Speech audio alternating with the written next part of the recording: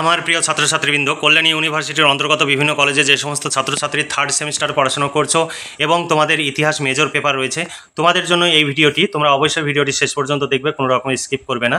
আর যদি তোমরা প্রয়োজন বোধ করো, তাহলে তোমরা আমাদের এই চ্যানেলটি সাবস্ক্রাইব করে রাখতে পারো তোমাদের নিজেদের প্রয়োজনে। আর যদি ভিডিওটি ভালো লাগে, অবশ্যই ভিডিওতে লাইক করবে এবং বন্ধুদের সঙ্গে শেয়ার করবে, যাতে তোমার মতো তোমার বন্ধুও উপকৃত হতে পারে। এবার দেখো, Kalyani university third semester history major three paper তোমাদের সিলেবাসে রয়েছে ancient India from the post Vedic to late Gupta period তোমাদের পাঁচ ও দশ মার্কের প্রশ্নের সাজেশন দু হাজার চব্বিশ পঁচিশ, আজকে তোমাদের সামনে উপস্থাপন করব। এর আগে আমি তোমাদের সামনে সিলেবাস উপস্থাপন করেছি। এই- ভিডিও ডেসক্রিপশানে সিলেবাসের ভিডিওটি দেওয়া থাকবে। সেই লিঙ্কে ক্লিক করে তোমরা ভিডিওটি দেখে নিতে পারো। চলো দেখে নিই আজকের সাজেশনের প্রশ্নগুলো। তবে তোমাদের ইতিহাস মেজরের সিলেবাস অনেক বড়, তাই আমরা এবার প্রতি বছর তিরিশখানা করে প্রশ্ন রাখি, কিন্তু এই বছর আমরা তিরিশখানার বেশি প্রশ্ন রেখেছি। প্রায় ছত্রিশ সাঁত্রিশখানা প্রশ্ন আমরা সিলেবাসে, এই সাজেশনে রেখেছি। কারণ তোমাদের সিলেবাস অনেক বড় এবং প্রথম তোমাদের পরীক্ষা, এর আগে তোমাদের এই সিলেবাসের উপরে পরীক্ষা হয়নি, তাই আমরা রিস্ক নিতে চাইছি না। ইতিহাসে আসলে কমন পাওয়া ভীষণ টাফ তবুও তোমরা ফার্স্ট সেমিস্টার এবং সেকেন্ড সেমিস্টারে ইতিহাস মেজরের নোটস যারা সংগ্রহ করেছিলে, তোমরা হান্ড্রেড পার্সেন্ট কমন পেয়েছ। আশা করি এই সেমিস্টারও কমন পাবে, কিন্তু তোমরা এই প্রশ্নগুলো পড়ে রাখবে। এই কটা প্রশ্ন পড়লেই সব কমন পেয়ে যাবে। দেখো, পাঁচ ও দশ মার্কের প্রশ্নের সাজেশন দু হাজার চব্বিশ তোমরা যদি নোট সংগ্রহ করতে চাও, দুশো টাকা পেমেন্ট করতে হবে। দুশো পঞ্চাশ টাকায় শর্ট প্রশ্ন এবং বড় প্রশ্ন, অর্থাৎ দুই, পাঁচ এবং দশ মার্কের প্রশ্ন ও উত্তর সব পেয়ে যাবে। এর বাইরে কোনো প্রশ্ন উত্তর পড়ার প্রয়োজন হবে না। আর তোমরা এই নোট সংগ্রহের জন্য বিভিন্ন জায়গায় ছোটাছুটি করো, তাতে তোমাদের প্রচুর অর্থ এবং সময়ের অপচয় হয়। আমাদের কাছে নোট সংগ্রহ করলে তোমাদের অর্থ এবং সময়ের সাশ্রয় হবে। তোমাদের কোনো রকমের টেনশন করতে হবে না, তোমরা বিভিন্ন জায়গায় ছোটাছুটি করতে গিয়ে প্রতিদিন তোমরা হয়তো চার ঘণ্টা, পাঁচ ঘণ্টা করে সময় লস করো। সেই চার, পাঁচ ঘণ্টা করে তোমরা যদি পড়াশোনা করো, তাহলে তোমাদের এই সিলেবাস অনুযায়ী পুরো সিলেবাস এর নোটস তোমরা মুখস্থ করে ফেলতে পারবে এবং পরীক্ষার আগে টেনশন ফ্রিভাবে পরীক্ষা দিতে পারবে। চলো দেখে নিই। ইউনিট অনেক কী কী প্রশ্ন রয়েছে? এক নম্বর প্রশ্ন সাম্রাজ্য শক্তি হিসাবে মগধের উত্থানের পিছনে কোন কোন উপাদান গুরুত্বপূর্ণ ভূমিকা পালন করে? দুই নম্বর প্রশ্ন গুপ চন্দ্রগুপ্ত কীভাবে মৌর্য সাম্রাজ্য প্রতিষ্ঠা করেন? তিন নম্বর প্রশ্ন, মৌর্য শাসন ব্যবস্থার মূল বৈশিষ্ট্যসমূহ আলোচনা করো। অথবা তুমি কি মনে করো, মৌর্য শাসন ব্যবস্থা কেন্দ্রীভূত আমলাতন্ত্র ছিল? তারপরে প্রশ্ন, চার নম্বর প্রশ্ন সম্রাট অশোকের শাসন সংস্কার সমূহ বর্ণনা করো। পাঁচ নম্বর প্রশ্ন, অশোক কেন কলিঙ্গ যুদ্ধে অবতীর্ণ হয়েছিলেন? ছয় নম্বর প্রশ্ন, অশোকের ধর্ম, ধর্মের চরিত্র বিশ্লেষণ করো। বৌদ্ধ ধর্ম দ্বারা কতখানি প্রভাবিত ছিল? সাত নম্বর প্রশ্ন, মৌর্য সাম্রাজ্যের পতনের জন্য সম্রাট অশোক কতটা দায়ী ছিলেন? তারপরে প্রশ্ন দেখো দুই নম্বর ইউনিট থেকে আট নম্বর প্রশ্ন মৌর্যোত্তর যুগের ভারতের রাজনৈতিক অবস্থা বিশ্লেষণ করো। নয় নম্বর প্রশ্ন, প্রাচীন ভারতের ইতিহাসে হর্ষবর্ধনকে কেন বিশিষ্ট শাসক হিসাবে বিবেচনা করা হয়?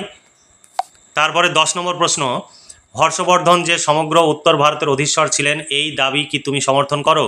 এগারো নম্বর প্রশ্ন মৌর্যোত্তর যুগের শিল্পকলা তথা কুষাণ স্থাপত্য ভাস্কর্যের পরিচয় দাও। বারো নম্বর প্রশ্ন, কনিষ্কের শাসন ব্যবস্থা আলোচনা করো। তেরো নম্বর প্রশ্ন সাতবাহন রাজত্বকালে দক্ষিণ ভারতের ধর্মীয় অবস্থা আলোচনা করো। চোদ্দ নম্বর প্রশ্ন সাতবাহন রাজ সাতবাহন রাজ, গৌতমী পুত্র সাতকর্ণীর সাফল্য পরিধি নির্ধারণ করো। তারপরের প্রশ্ন, পনেরো নম্বর প্রশ্ন সাতবাহন যুগের সামাজিক অর্থনৈতিক অবস্থা ও বাণিজ্যের পরিচয় দাও। ষোলো নম্বর প্রশ্ন, সঙ্গম যুগের সামাজিক অবস্থার বিশদ আলোচনা করো। সাত নম্বর প্রশ্ন, চোল শাসকদের স্বায়ত্ত শাসন ব্যবস্থা বিশ্লেষণ করো।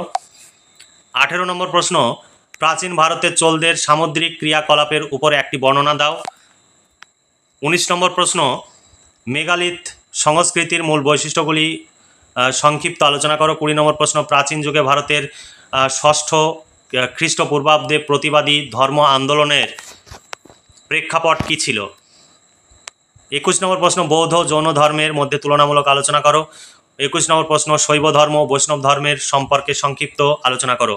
তোমরা নোট সবসময় নিজের হোয়াটসঅ্যাপ নাম্বার থেকে সংগ্রহ করবে, কখনো অন্যের নাম্বার থেকে বা বাইরে থেকে নোট সংগ্রহ করবে না।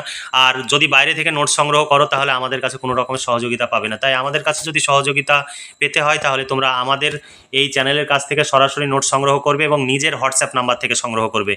আর তোমাদের হোয়াটসঅ্যাপ নাম্বারে ডিলিট অপশান তোমরা অন করে রাখছো। কারণ চব্বিশ ঘণ্টা বা আটচল্লিশ ঘণ্টা বা সাত দিন পর তোমাদের অটোমেটিক সেই মেসেজ ডিলিট হয়ে যায়। কারণ আমাদের কাছ থেকেও সেই মেসেজগুলো কিন্তু ডিলিট হয়ে যায়। আর সেটা ডিলিট হয়ে গেলে কিন্তু তোমাদের সমস্যা হবে। তাই সব সময় হোয়াটসঅ্যাপের যদি ডিলিট অপশান অন করা থাকে, সেটা অফ করে দেবে, তারপরে নোট সংগ্রহ করবে। তারপরে ইউনিট থ্রি দেখো, বাইশ নম্বর, গুপ্ত শাসন ব্যবস্থার বৈশিষ্ট্যগুলি আলোচনা করো। তেইশ নম্বর প্রশ্ন, গুপ্ত সমুদ্রগুপ্তের বৈদেশিক নীতি আলোচনা করো।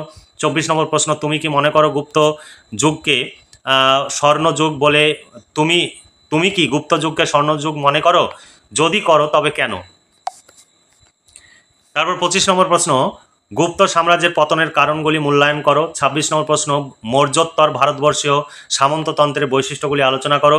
ইউরোপীয় সামন্ততন্ত্রের সঙ্গে এর পার্থক্য কী ছিল? তারপরে সাতাশ নম্বর প্রশ্ন, শিল্প ও বাণিজ্যের প্রসারে গুপ্তদের প্রভাব কীরূপ ছিল? চব্বিশ নম্বর প্রশ্ন সরি চার নম্বর ইউনিট থেকে তোমাদের প্রশ্ন দেখো গান্ধার শিল্পের উপর একটি টিকা লেখো। উনত্রিশ নম্বর প্রশ্ন, গুপ্ত যুগের সাহিত্য চর্চা একটি সংক্ষিপ্ত বিবরণ দাও। তিরিশ নম্বর, গুপ্ত যুগের ভূমিদান ব্যবস্থার বিশ্লেষণাত্মক বিবরণ দাও। একত্রিশ নম্বর প্রশ্ন, গুপ্ত যুগে চিকিৎসা বিজ্ঞানের অগ্রগতির আলোচনা করো। বত্রিশ নম্বর প্রশ্ন, মৌর্য পরবর্তী যুগে ভারত ও রোমান বাণিজ্যের বিস্তারের জন্য কি কি কারণ ক্রিয়াশীল ছিল? তেত্রিশ নম্বর প্রশ্ন, তামিল সাহিত্যের উপর একটি সংক্ষিপ্ত টিকা লেখো। চৌত্রিশ নম্বর প্রশ্ন, সঙ্গম সাহিত্যের উপর একটি নিবন্ধ রচনা করো। পঁয়ত্রিশ নম্বর প্রশ্ন, প্রাচীন ভারতের পরিবেশ সচেতনতা সম্বন্ধে আলোচনা করো। ছত্রিশ নম্বর প্রশ্ন, কৌটিল্যের অর্থশাস্ত্র মেগাস্তিনিসের ইন্ডিকা গ্রন্থের গুরুত্ব আলোচনা করো। সাঁত্রিশ নম্বর প্রশ্ন, প্রাচীন ভারতের গিল্ড কীভাবে প্রাতিষ্ঠানিক চেহারা চেহারা পেয়েছিল? এটা কি ট্রেড ইউনিয়নের একটি ধরন ছিল? আটত্রিশ নম্বর প্রশ্ন মৌর্য যুগের শিল্পকলার পরিচয় দাও। এই ছিল তোমাদের আটত্রিশখানা সাজেশন অনুযায়ী প্রশ্ন। তবে তোমাদের এই স্টার চিহ্ন দেওয়া রয়েছে তিরিশখানা প্রশ্ন। এই তিরিশখানা প্রশ্ন তোমরা পড়লে হান্ড্রেড পার্সেন্ট কমন পেয়ে যাবে। দুশো পঞ্চাশ টাকা পেমেন্ট করতে হবে। আমাদের নোটস রেডি হয়ে গেছে। বাংলা ইতিহাস, রাষ্ট্রবিজ্ঞান এডুকেশন দর্শন, সমস্ত মেজর পেপারেরই প্রায় নোটস রেডি হয়ে গেছে। তো কিছু বাকি রয়েছে আর আগামী সপ্তাহের মধ্যে সেই নোটসগুলো কমপ্লিট হয়ে যাবে। তোমরা চাইলে নোটসগুলো সংগ্রহ করতে পারো। আমাদের সমস্ত শিক্ষক মণ্ডলী দিন রাত্রি পরিশ্রম করছে যাতে তোমাদের কাছাকাছি তোমাদের হাতে খুব তাড়াতাড়ি এই নোটসগুলো তুলে দেওয়া যায়। কারণ তোমরা জানো যে ইতিহাসের সিলেবাস উনত্রিশ উনত্রিশ তারিখে পাবলিশড হয়েছে, অর্থাৎ আজ থেকে চার দিন আগে পাবলিশড হয়েছে। সেই চার দিনের মধ্যে দিন রাত্রি পরিশ্রম করেছে এবং এর আগেও আমাদের এই সিলেবাস হতে পারে। সেই সম্ভাবনা ছিল বলে আমরা, আমাদের শিক্ষকরা আগে থেকেই নোটসগুলো রেডি করে রেখেছিল এবং এই চার দিনে দিন রাত্রি পরিশ্রম করে একদম ফাইনাল নোটসগুলো রেডি করে ফেলেছে। তাই তোমরা চাইলে নোটসগুলো সংগ্রহ করো এবং ঘরে বসে পড়াশোনা করে পরীক্ষার প্রস্তুতি নাও।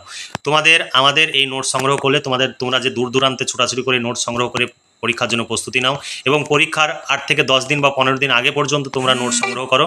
কিন্তু আমাদের কাছে নোট সংগ্রহ করলে তোমাদের সেইটা করার প্রয়োজন হবে না। এই আমাদের এই নোটসের বাইরে তোমাদের পড়ার প্রয়োজন হবে না। যদিও তোমাদের সিলেবাস অনেক বড় সেই বড় সিলেবাসের জন্য এবার আমরা তিরিশ থেকে আটত্রিশখানা সাজেশনের প্রশ্ন রেখেছি। এছাড়া সম্ভব হচ্ছে না। কারণ রিস্ক হয়ে যাবে, আমরা কখনোই ছেলে মেয়েদের রিস্কে ফেলতে চাই না। তাহলে আজকে এই পর্যন্তই। ভালো থেকে, সুস্থ থেকে এবং খুব ভালোভাবে পড়াশোনা করে। পরীক্ষার প্রস্তুতি নাও। এই শুভকামনা জানিয়ে আজকের ভিডিওটি এখানে সমাপ্তি ঘোষণা করছি।